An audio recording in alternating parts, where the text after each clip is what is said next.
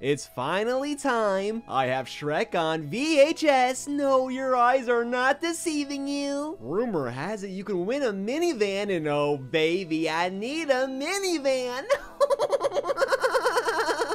Oh man, who would have guessed but it's ice cream? Oh, and yeah, you already know I went to get it. And they accepted it, no questions asked. Maybe because Shrek was there. Or maybe because they know what it is.